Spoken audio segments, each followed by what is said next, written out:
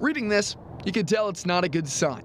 In the last weekend of January, you would normally find White Park Pond frozen and full of people for the Black Ice Pond Hockey Tournament. The last week in January is supposed to be the coldest week of the year. It is historically. And you're like, we should be good. Chris Brown founded this tournament 12 years ago, and with two weeks until puck drop, he says this year isn't looking good. Not optimistic. I mean, next week it gets cold for four or five days and then it gets warm again. So it's just been that trend all winter long. Chris says in order to have this event, the ice needs to be at least 8 to 10 inches thick. And when Mother Nature is unpredictable, you need patience and a good backup plan at Everett Arena, just down the street. Plan B is uh, we're going to take it inside in March, uh, but hopefully we can still pull this off. Now, according to New Hampshire state parks, all public snowmobiling and club trails are closed throughout this state. Now, we're here in Bear Brook State Park, and as you can tell,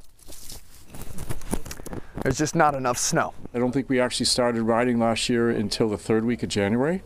Um, so we're hoping for some positive weather. Over at Hooksett Power Sports, co-owner Jim Wally says that sales haven't dropped due to pre-order sales and other products doing pretty well. But the next few weeks could be tough if there's barely any snow. Yes, we need some more snow to generate some excitement. The fact that we've got some snow up north, the fact that there's some snow up in Maine, we need more of it, but that's helpful. But once the northern part of the state gets enough snow, it's worth it to get out to the clubs. Even when they don't have a lot of snow, the clubs do such a great job at grooming and keeping those trails as good as they can possibly be. So I would say, yeah, you travel where the snow is, but the clubs are such a huge part of what makes snowmobiling successful in New Hampshire. Troy Lynch, WMUR News 9.